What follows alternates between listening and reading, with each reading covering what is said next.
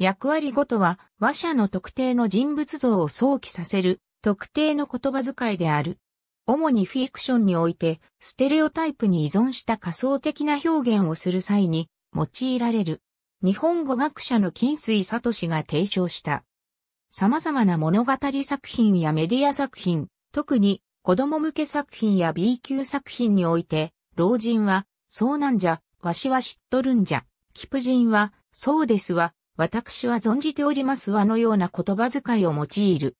そのような言葉遣いの老人や貴婦人は現実にはほとんどいないが、日本語話者であれば言葉遣いを見聞きするだけで、老人、貴婦人のイメージを自然に思い浮かべることができる。これらは物語作品やメディア作品で繰り返し使われることで特定のイメージが社会で広く共有されるに至った言葉遣いである。物語の中で老人としての役割を担う登場人物は老人の役割語を貴婦人としての役割を担う登場人物は貴婦人の役割語を話すのである。役割語は標準語とメディアの発達に伴って複雑化してきたものである。東京で作られた標準語のコンテンツがメディアによって日本全国に発信され需要されることで標準語のセリフは日本全国どの方言話者でも容易に自己同一化できるものとなり、同時に非標準語が役割語として生産、拡散、固定化されていくのである。そのため、役割語には感情移入を妨げて脇役であることを示す効果があり、フィクションの主人公が強烈な役割語を話すことは少ない。主人公が強烈な役割語を話す場合や、登場人物がそのステレオタイプにあった役割語を話さない場合には、特別な設定を描写する必要が出てくる。金水は役割語のイメージ喚起力を認め、役割語なくして日本語の作品は成り立たないとしているが、型通りの役割語の多様は日本語の本来の多様性を覆い隠し、陳腐さと表現の狭さをもたらすことを指摘している。また、役割語は差別的なステレオタイプに鈍感であり、安易な役割語の使用は、時として表現者の意図した、あるいは意図しない偏見、差別意識を伝えてしまう場合もあると、金水は述べている。小説家の清水義則は、小説の中で使われる言葉について、次のように書いている。小説の中の会話は、小説用に再構成された虚構の言葉である。私などは、なるべく、そういう方としての言葉ではなく、リアルな言葉を書きたいと思っているのだが、それでも、完全にそう書けるわけではない。そのことの、最も端的な例が、女性のセリフである。近頃の若い女性が、自分のことを僕と称しているだとか、暴走族系の女性が、畜生目、ざけんじゃねえや、と言っているという次元の話ではなく、実は、今日では、女性言葉と男性言葉の差がほとんどなくなっているのだ。きったねえよなやってらんないよ。それ、できたらすぐ送っといてよ。やめろってば。鬱陶しいやつだなこういう言葉。すべて女性も、このように喋っているのである。ところが、小説には、なかなかそうは書けない。特に脇役の女性にこうは喋らせられない。それを知ってしまうと説明が必要になるのだ。男勝りの少女だがそこが、チャームポイントで案外心は優しいのである。とか、なんとか。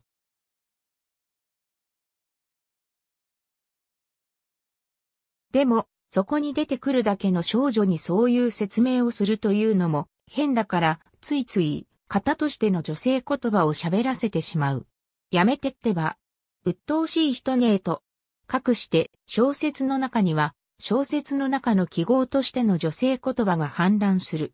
小説とは現実をリアルに移そうとしながら、かえって記号的に語ってしまうこともあるのだ。清水義則、日本語必勝講座、役割語は実際に話されている、位相語をステレオタイプ化させたものが多いが、人工的に創作されるものもある。役割語を特徴づける要素は様々あるが、認証代名詞と文末表現が重要な指標となる。フィクションにおける老人語は、一人称、和紙や断定、じゃ、打ち消し、ぬ、おるなど、西日本方言的な特徴を持つ。こうした表現は、現代の広島弁などに似ているが、起源は江戸時代の情報語と考えられている。江戸時代前期には、江戸語が未確立で、江戸においても、情報語が規範的な言葉とされていた。江戸時代後期になると、町人層で江戸語が確立していくが、保守的な老人や知識人は、情報風の言葉を使い続けたと考えられる。そこから、歌舞伎や下作などで老人を表現するのに誇張した情報風の言葉が使われるようになり、江戸において老人の役割語として固定化されていったという。特定の地域の方言、または架空のエセ方言が役割語として使用されることもある。例えば、農民や田舎者を表現する際には、東北地方と関係のない設定でも、オラスルダのような東北弁風のエセ方言が使われる。大阪弁は、商人、同契約、犯罪者と結びつけられやすい。九州弁、広島弁、土佐弁には男性的な言葉というイメージがあり、特に広島弁はヤンキーや不良、ヤクザと結びつけられやすく、これらは九州男児や坂本龍馬のイメージとヤクザ映画の影響が大きい。児童文学作家のサネト・アキラは、ジャノーなどの児童向けの昔話に使われるエセ方言について、民話にとっての標準語、エスペラント語、これは地方の話だよ、今の話ではないよ、話しているのはお年寄りだよということを示す仕掛けであるといい、山奥の話では、オラ、ダベなどの東北弁風、海が舞台で南を思わせる話では、わし、じゃなどの関西、九州弁風というようにに、非方言を使い分けているという。なんだか、ご法事に、あ不要でアリンスなどと出身をわからなくするために、花魁の言葉のうち、半ば人工的に作られた、狂わしのこと。アリンスは、ありますの音変化で新吉原の遊女が用いた。なお、金水はアリンス言葉は、江戸時代には、一般的ではなく、明治以降に使用されるようになったとしている。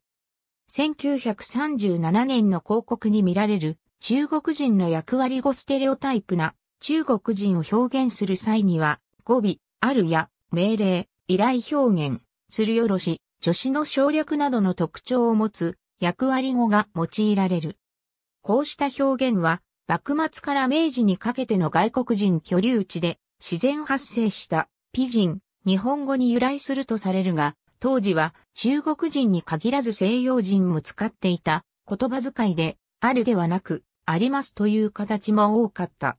その後、台湾や満州などへの日本人の大量入植に伴い、中国人と日本人の接触が増え、ピジン、日本語が多用されたため、中国人イコール悪い言葉というイメージが固定化された。金水によれば、文法的な面から次のような特徴が指摘されるという。用例、あるいは言葉に近いが、丁寧語が使用され、ありますとなる。世界戯曲全集第12巻読王編ドイツ、古典劇集や伊藤治優全集などで使用されている。